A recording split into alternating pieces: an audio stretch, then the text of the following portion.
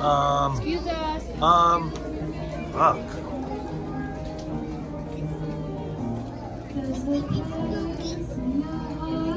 So I had to tell him no.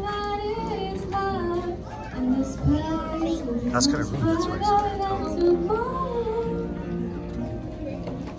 You need to try, you'll find there's no need to cry. In this place, there's no